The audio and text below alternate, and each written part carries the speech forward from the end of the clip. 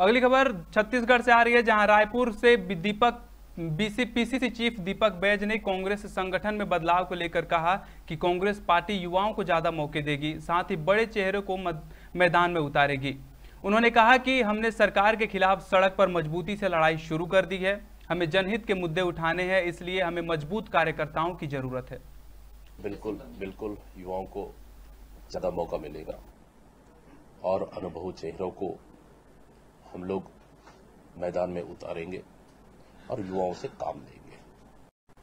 और देखिए, हम लोग चाह रहे हैं कि इस महीने अंत से हम लोगों ने शुरुआत कर दी है और निश्चित रूप से संगठन को मज़बूत करना है। सरकार के खिलाफ में मजबूती के साथ हमको लड़ना है, सड़क की लड़ाई, जनहित के मुद्दों को उठाना है। इसलिए हम लोग मज़बूत एक कार्यकर्ता और साथी की आवश्यकता है। जो संगठन को मजबूती के साथ चला सके।